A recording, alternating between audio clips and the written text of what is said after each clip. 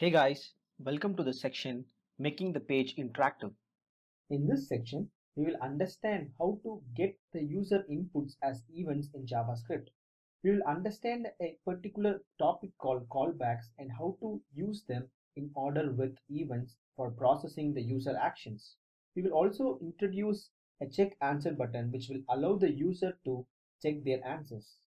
In this particular section, we understood what is event is all about in JavaScript and also we understood the difference between user events and as well as browser events. Finally, we have also written enough code to show the necessary information to the user. The first section would be let's dive into events. In this particular video, We will look into what are events. In this particular topic, we will understand what is event in a layman term. At the same time, we will also talk a little bit about event and its types. So let's go back to the browser and open up our application that we have built it currently. So the application in the current state looks like the following. Here, let's pause for a moment and think about how we are going to collect the answer that has been submitted from the user. Definitely, we are going to have a button over here called submit or check answers button. And at the same time, the user also has an option to choose an answer out of these two radio buttons and then press on the submit button.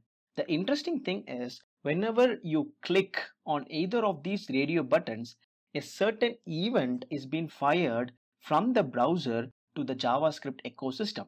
In the JavaScript ecosystem, you as a developer could able to catch that up and try to use them or make your web page interactive as much possible. And that's where events are really important.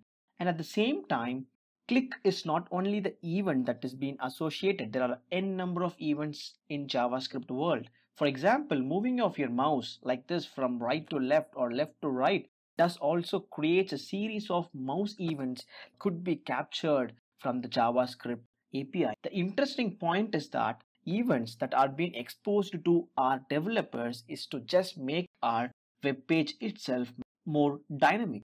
And apart from that, user is not only the source who can create an event. For example, clicking of this radio option does create an event. This event is being created or dispatched from the user.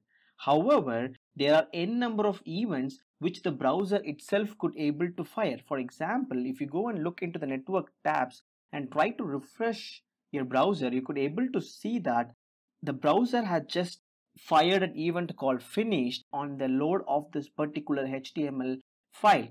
Accordingly, there are n number of events which browser could also fire to the JavaScript ecosystem. Again, those events in the JavaScript APIs which could be captured by the developers. The interesting point is that these two things, the events that are created by the user and the events that are generated by the browser, we commonly termed it as events. So let's go back to the slide and try to look at takeaways of this particular section. Really understood in simple terms what are events in JavaScript world and at the same time we understood and talked about why this event concept is important because we just need to make our web page itself more dynamic. And at the same time, we also want to make a point very much clear that not only user could create events, but browser also does. And that's exactly the topic of the next section.